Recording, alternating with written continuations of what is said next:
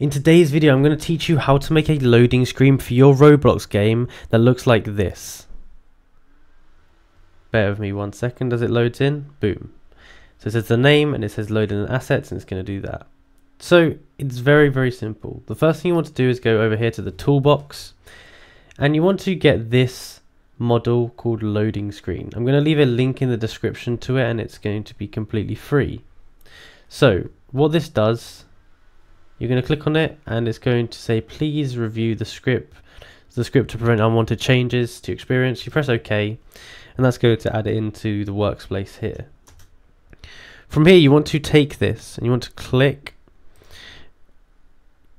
once you click and you want to drag it into replicated first. Now once you've dragged it into there we can double click on it here and we scroll down to the 14th line. The 14th line is the game name. So I've just said Happy Blocks, but we could change it to anything we wanted to. We could say, we could put Crazy Blocks. Whatever you want to do. Now there are other settings that you can fiddle with in here, but it's a bit complicated. So I'd recommend um, just leaving it as it is for now. But if you want me to make a tutorial on how to change them, I can do that. So now I can press X, I can press stop here, um, I want to keep the changes. I'm going to press play and it's going to load in and you'll see it will say crazy blocks now. See, boom, crazy blocks.